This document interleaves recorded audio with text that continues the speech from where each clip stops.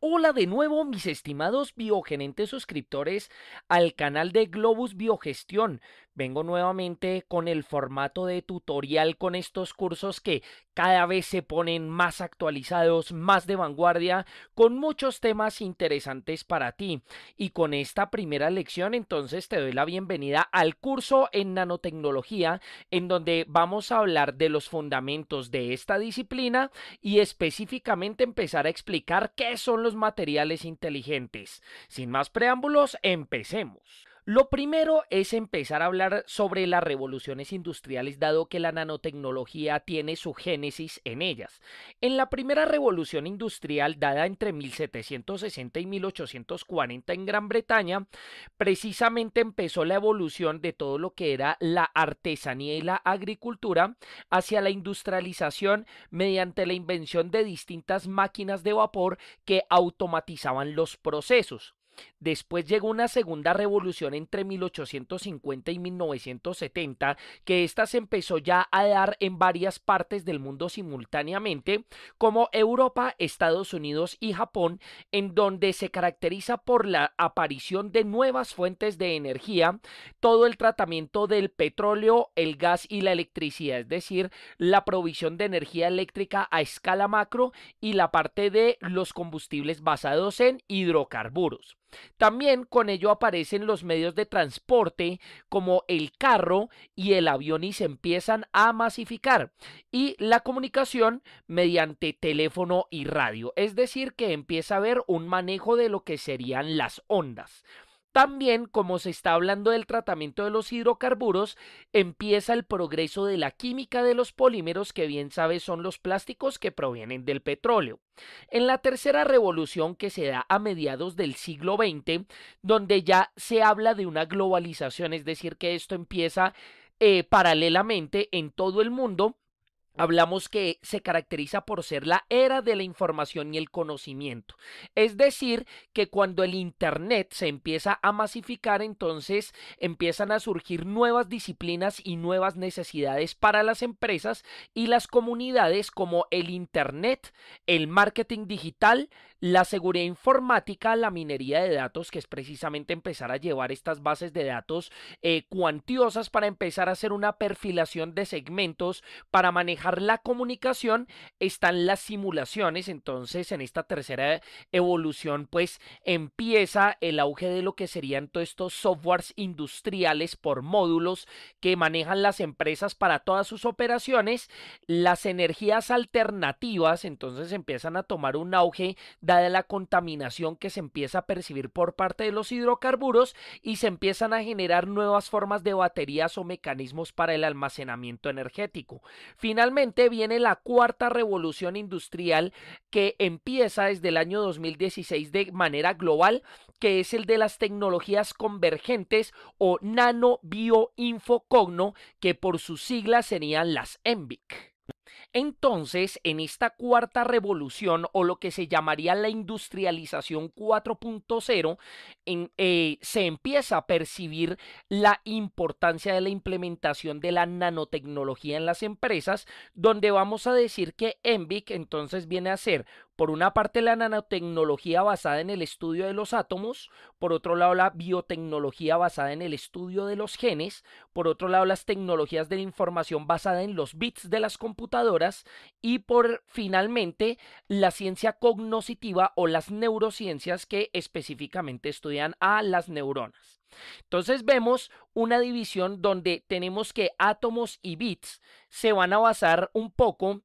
en el estudio de lo que sería la física a escala molecular también estamos hablando de la mecánica cuántica y por otro lado estaríamos viendo el estudio de las ciencias de la vida donde se tratarían los genes y las neuronas. Y una segunda división donde diríamos que a nivel de morfofisiología se estaría estudiando los átomos y los genes y a manera ya de funcionamiento e interacción estaríamos estudiando los bits y las neuronas. Todo este estudio y la implementación de la nanotecnología proviene de la inteligencia de la naturaleza. Entonces es importante estudiar el cómo evolucionó la respuesta sensomotora para entender bien el concepto de inteligencia vista desde la nanotecnología. Entonces, por una parte, tengo aquí una bacteria arquea que se dice que fue de las primeras que estuvieron presentes en la evolución de la Tierra,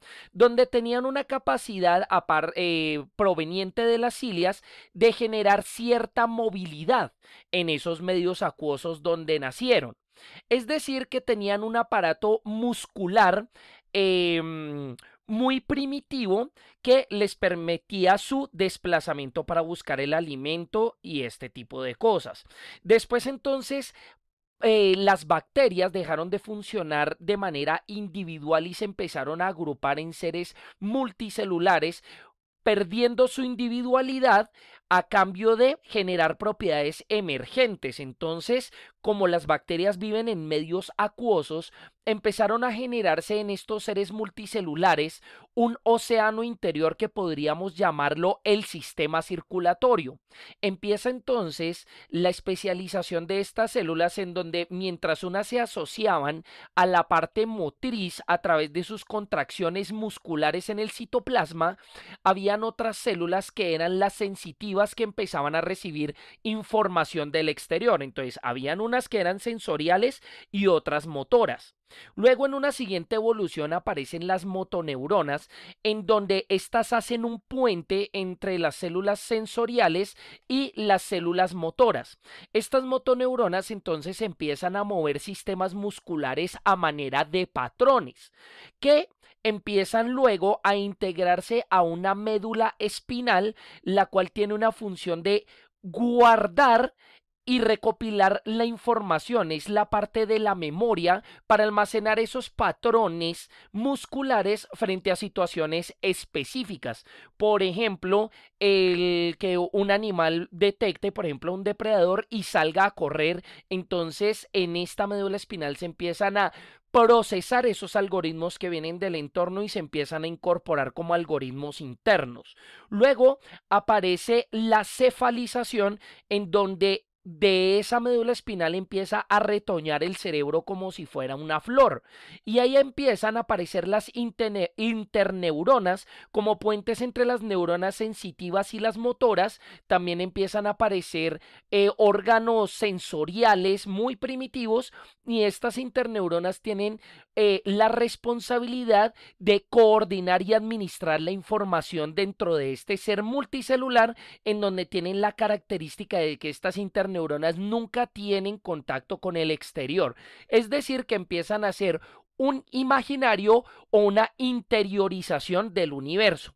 Luego entonces empiezan a desarrollar los órganos sensoriales para empezar a adquirir mayor información del entorno basándose en las fuerzas de la física y de la química en el entorno circundante para mejorar y optimizar las condiciones de supervivencia. Acá por ejemplo tenemos el ejemplo del ojo que va interconectado al cerebro que finalmente en un estadio ya más avanzado empieza a generar unas funciones muy específicas en lo que se serían algunos centros de ese cerebro que van desde la administración de la parte sensorial hasta, por ejemplo, la parte de la conciencia y las emociones. Toda esta evolución del cerebro, ¿para qué sirve? Para generar percepción de lo que serían las fuerzas fundamentales de la física junto con sus partículas fundamentales y sus derivados. Por ejemplo, tenemos que las cuatro fuerzas fundamentales de la física están la interacción fuerte, que es la fuerza que tiene eh, que cohesiona a todos los elementos en el núcleo de los átomos, que los mantiene pegados, con lo cual la partícula responsable de esto son los gluones. Tenemos la fuerza electromagnética, que es la proveniente de la electricidad y el magnetismo, en donde hablamos de fenómenos como la polarización, donde polos opuestos se atraen y polos iguales se repelen donde decimos que las partículas responsables de esto son los fotones, dado que los fotones tienen una característica y es que cargan o excitan algunos materiales. Tenemos también la interacción débil que están responsables los bosones W y Z, los cuales hacen un cambio de sabor, se le dice de esa manera,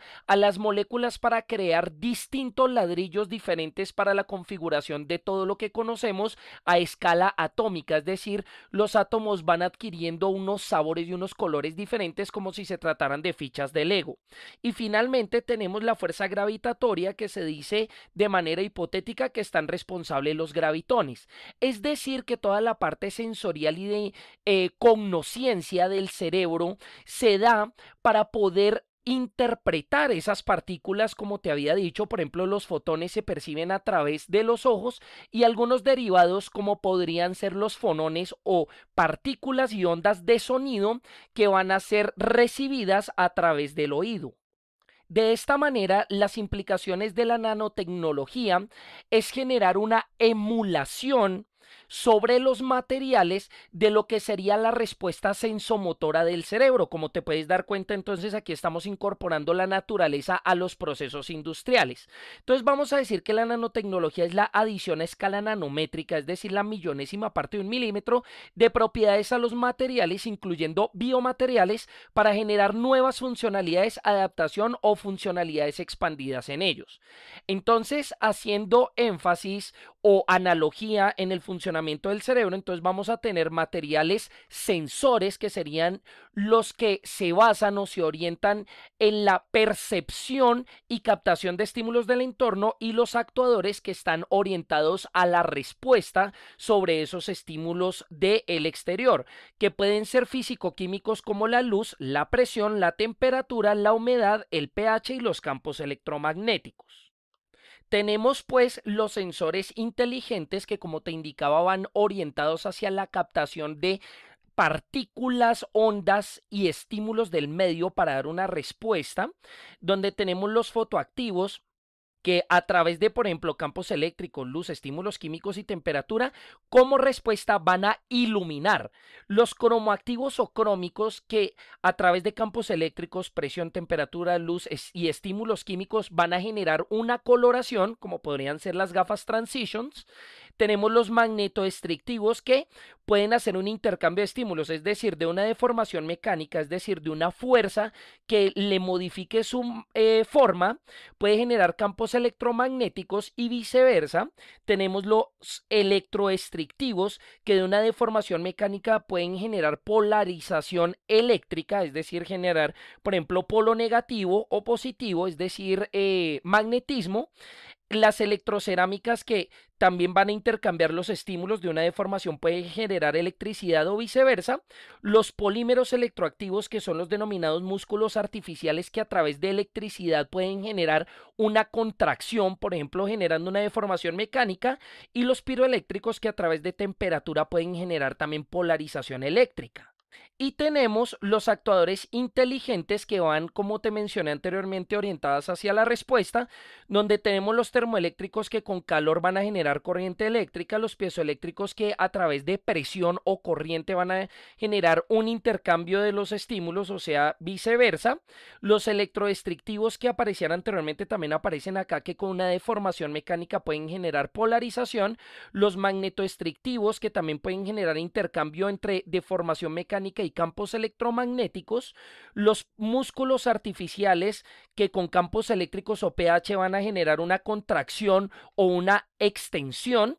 los magnetoreológicos que a través de campos magnéticos van a alterar su viscosidad, los electroreológicos que a través de campos eléctricos también alteran su viscosidad, los materiales con memoria de forma que a partir de la temperatura campos magnéticos van a generar una deformación mecánica que puede ser, por ejemplo, retornar a su estado inicial después de haber sido deformado el material y finalmente los recubrimientos hidrofóbicos o hidrofílicos que actúan frente a la humedad generando repulsión o absorción total de la misma. Por ejemplo, en el caso de la repulsión sería emular el comportamiento de las hojas frente a la lluvia.